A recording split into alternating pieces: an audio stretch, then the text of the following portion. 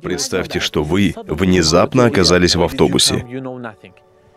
Кто привел вас сюда, зачем вы пришли, вы ничего не знаете. И вы наблюдаете очень жуткую атмосферу в автобусе, когда каждые 60 секунд одного случайного пассажира силой выводят из автобуса и убивают. Вы не знаете, когда придет ваш черед. Одновременно с этим в автобус приводят новых людей. Разумеется, вы чувствуете страх, потому что в любое время вас могут вывести и убить. И в подобной обстановке кто-то подходит к вам и говорит, перед тем, как вас выведут и убьют, вы должны изобрести что-нибудь в автобусе и оставить это новым приходящим людям, чтобы они помнили об этой вашей работе. И он показывает вам свое изобретение, которое он сделал в автобусе. Что вы ему на это скажете? Вы издеваетесь надо мной? И это есть тот вклад, который вы делаете ради моего спасения сейчас? Меня могут вывести в любое время. Если вы хотите помочь мне, то сперва решите проблему смерти, нависшей надо мной. Предположим, что вы не сказали этого, а прислушались к этому человеку и начали делать что-то для людей. И вы сказали, сказали то же самое новым пассажирам. Как вы думаете, принесло бы это пользу им, когда в любое время их могут вывести? Или это является самообманом для них и утратой драгоценного времени? Представьте, что в автобусе работает именно такая система. Поколения приходят и уходят, и никто не пытается подвергнуть сомнению систему и спасти себя и остальных. Вместо этого они готовы потратить 5 или 10 минут их жизни на какую-нибудь технологическую новинку, которая на короткий срок облегчит жизнь другим людям. И они надеются, что станут известными, что их будут прославлять на протяжении многих поколений. Мне кажется, что если бы репортер CNN пришел в этот автобус, он сделал бы репортаж с заголовком «Самая большая глупость всех времен». Мы находимся в гигантском автобусе, который вмещает 7 миллиардов людей. И в каждые 60 минут 10 тысяч человек покидают его. Люди с материалистическим менталитетом говорят, что они теряют свою жизнь. И в подобной ситуации современная потребительская система предлагает нам и учит нас работать над новыми открытиями, развивать науку, производить больше технологий для человечества. И по их мнению, это является основным вкладом в развитие новых поколений и цивилизаций. Даже мы, мусульмане, тоже думаем таким образом. Пожалуйста, подумайте о человеке, который находится на грани жизни и смерти. И вы говорите ему, «Эй, дружище, возьми этот iPhone 14».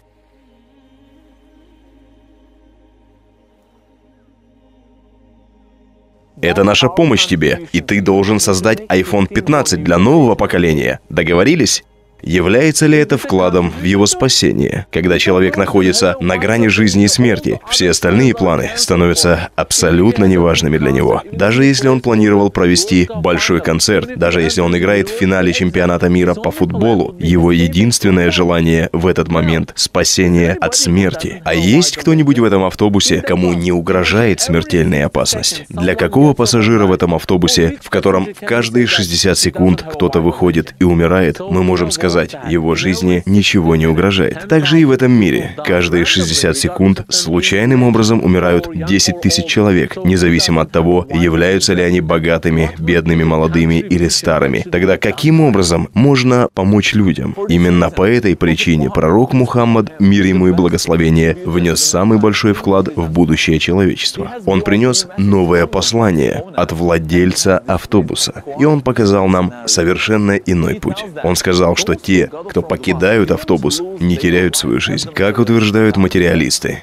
а наоборот, они обретают вечную обитель, попадают в бесконечные места. То, что поглощает Земля, это не мы, а только наша материальная оболочка. Что касается наших душ, то они попадают в вечную обитель. Таким образом, Он избавляет нас от страха потерять свою жизнь. Конечно, мы можем поговорить о доказательствах этого в других видео, иншаллах, но мы должны четко понимать, что передача бессмертного послания Корана так же важна, как вода для человека, который умирает от жажды. Это первая помощь, которая должна быть оказана миллионам людей. И все остальные пожертвования должны идти после нее. Когда вы стремитесь к истине, когда пытаетесь сделать настоящий вклад в общество, вас могут обвинить в том, что вы не приносите никакой пользы в жизнь и благополучие людей. Да, возможно, вы никогда не получите Нобелевскую премию. Современная материалистическая идеология может не придавать никакого значения тому, что вы делаете. Она не даст вам титулов, не сделает богатыми. Тем не менее, вы, молодые мусульмане, не должны сдаваться и оставлять борьбу с идеей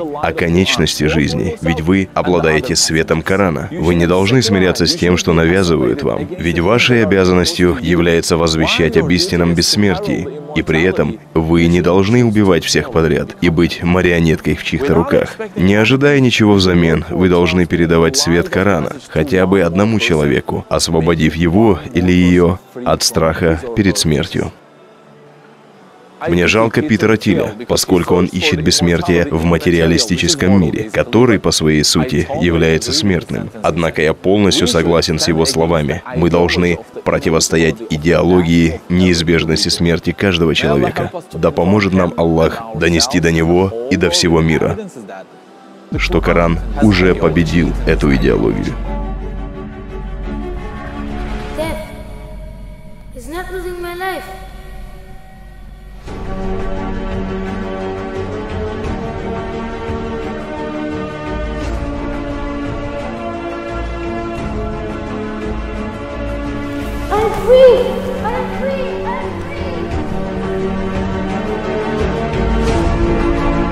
Знаешь что? Теперь ты можешь изобрести что-нибудь полезное. Да ладно. Серьезно. Однако пусть это будет что-нибудь, что принесет пользу всем людям. Хорошо?